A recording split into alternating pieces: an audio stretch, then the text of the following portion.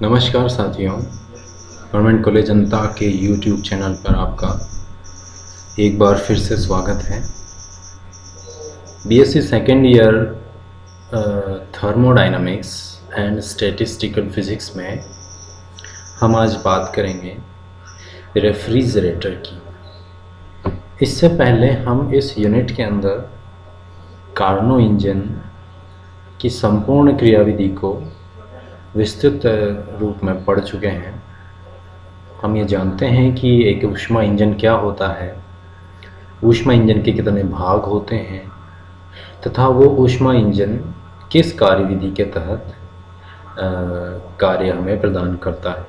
किन किन चरणों में चलता हुआ वो अपने को कार्य प्रदान करता है, ये हम भली प्रकार से समझ चुके हैं। कार्नो इंजन में हमने देखा था कि समस्त जो प्रक्रम है, वो धीमी गति से किए जाते हैं।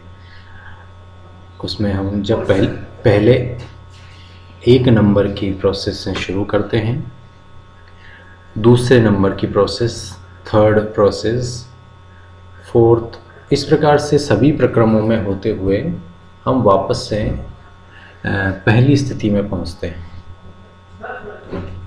तो जो चित्र आपको नज़र आ रहा है, इस चित्र में हम यहाँ कार्नो इंजन की अगर बात करें तो हम ए से चलते हुए बी पर एक प्रक्रम में बी से सी पर दूसरे प्रक्रम में सी से डी पर तीसरे प्रक्रम में और डी से ए तक वापस से चौथे प्रक्रम में पहुँच, चार प्रक्रमों में होते हुए हम पूर्व स्थिति में पहुँच जाते हैं। तो कार्नो इंजन जहाँ से हम प्रक्रम को शुरू करते हैं, जिस स्थिति से हम प्रक्रम को शुरू करते हैं, विभिन्न प्रक्रमों में होता हुआ वह उसी स्थिति को प्राप्त कर लेता है तो हम ये कह सकते हैं कि कार्नो इंजन एक उत्क्रमणीय इंजन होता है ये तभी तो संभव है जब सभी प्रक्रम धीमी गति से किए जाएँ। कार्नो इंजन में सभी प्रक्रम धीमी गति से किए जाते हैं, इसलिए ऊष्मा का क्षय नहीं होता। ऊष्मा का क्षय नहीं होने के और भी कारण हैं, जैसे कि सिलेंडर जो है वो ऊष्मारोधी लिए जाते हैं। और अन्य सारी चीज़ें हम कार्नो इंजन की क्रियाविधि में पढ़ चुके हैं, आप पुराने वीडियोस को देख सकते हैं। तो ऊष्मा क्षय नहीं होता, इसीलिए वो उत्क्रमणीय होते हैं। तो कार्नो इंजन एक ऐसा आदर्श इंजन है जिसे हम विपरीत क्रम में भी चला सकते हैं। विपरीत क्रम में चलाने का अर्थ है कि जिन प्रक्रमों से हम कार्नो इंजन को चलाते हैं, उन्हीं प्रक्रमों को रिवर्स कर दिया जाए, उलट दिया जाए। विपरीत क्रम में क्या होगा कि यह इंजन, जो कार्नो इंजन है, विपरीत क्रम में चलाने पर क्या होगा कि T2 ताप वाले सिंक से ऊष्मा Q2 ग्रहण करेगा तथा अन्य बाह्य एजेंसी से गैस पर W कार्य करवाया जाएगा। और कुल ऊष्मा Q2 टू प्लस डब्ल्यू ऊष्मा स्रोत को निष्कासित कर दी जाएगी। ये उल्टी प्रोसेस है। सीधी प्रोसेस क्या होती है कि एक ऊष्मा भंडार से Q1 ऊष्मा ग्रहण की जाती है। उस Q1 का कुछ भाग W कार्य में परिवर्तित किया जाता है। शेष बची हुई ऊष्मा को सिंक को निष्कासित कर दिया जाता है। अब वही प्रक्रम यदि यहाँ पर उलट दिया जाए तो Q2 से ऊष्मा को ग्रहण किया जाएगा, कार्य किया जाएगा कार्यकारी पदार्थ पर, जिसके कारण ली गई ऊष्मा और कार्य का योग Q2 two plus W equal to Q one ऊष्मा स्रोत को निष्कासित कर दिया जाएगा। तो अगर हम कार्नो इंजन को उलट दें तो यह रेफ्रिजरेटर बन जाएगा। कार्नो इंजन में जो भी प्रक्रियाएँ हमने की हैं, यदि उनको उलट दिया जाए, उल्टा कर दिया जाए, रिवर्स कर दिया जाए तो हम एक रेफ्रिजरेटर में पहुँच जाएँगे। हमारा जो इंजन है वो एक रेफ्रिजरेटर बन जाएगा रेफ्रिजरेटर से क्या अर्थ है? कि उसने निम्न ताप के ऊष्मा भंडार से ऊष्मा को ग्रहण किया तथा उच्च ऊष्मा भंड उच्च ताप के ऊष्मा भंडार को निष्कासित कर दिया। परंतु इस कार्य के लिए, उस कार्यकारी पदार्थ पर, जिसने ऊष्मा को निम्न ताप से उच्च ताप पर स्थानांतरित किया है उस कार्यकारी पदार्थ पर कुछ ना कुछ कार्य करना पड़ा है। बाह्य एजेंसी से कुछ ना कुछ कार्य करना पड़ा है।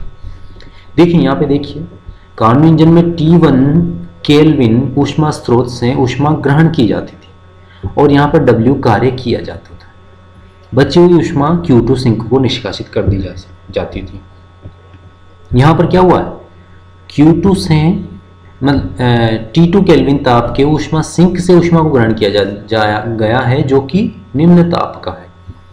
उसके बाद उस निम्न ताप से ली गई ऊष्मा को टी वन केल्विन उच्च ताप पर स्थानांतरित किया जाता है।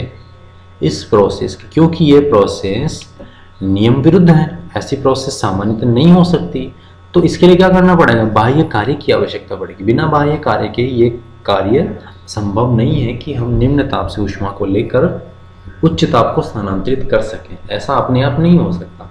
इसके लिए हमें कार्य करना पड़ेगा। तो वो कार्य बाह्य एजेंसी द्वारा कार्यकारी पदार्थ पर किया जाता है। तो यहाँ S पर W कार्य किया गया है। तब जाके ऊष्मा सिंक से Q2 ऊष्मा Q1 ऊष्मा में परिवर्तित करके Q1 बराबर Q2 प्लस डब्ल्यू करके और उच्च ताप पर स्थानांतरित की गई। है इसके आगे हम जब कानो प्रमेय पढ़ेंगे तो इसको बेहतर तरीके से समझेंगे कि हम निम्न ताप से ऊष्मा लेके उच्च ताप को तभी स्थानांतरित कर सकते हैं जब उस पर हम बाह्य कार्य बाह्य कार्य करें। यदि यहाँ पर बाह्य कार्य नहीं किया जाएगा तो निम्न ताप से उच्च ताप पर ऊष्मा का स्थानांतरण संभव नहीं है, जो कारण, कारणों का एक प्रमेय भी है। कार्नो चक्र जो था उसको हमने देखे यहाँ पे रिवर्स सिस्टम में ड्रॉ किया हुआ है। ए से बी तक पहुँचते थे बी से सी तक सी से डी तक और डी से ए तक पहुँचते थे कार्नो चक्र में।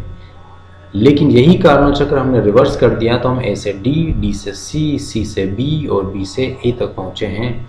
उन्हीं प्रक्रमों को हमने उलट दिया, जो प्रक्रम हम कार्नो चक्र में सीधे रूप में दर्शाते थे।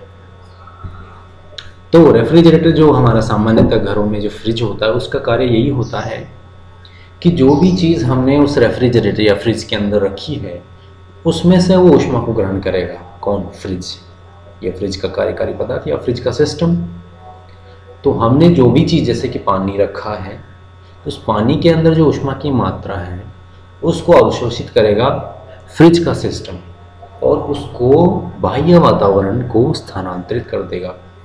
अब देखिए, जो भी चीज़ हमने अंदर रखी है, उसका तापमान रखने के बाद, फ्रिज में रखने के बाद कम हो गया। तो फ्रिज के अंदर रखी हुई जो चीज़ है, वो निम्न ताप की है।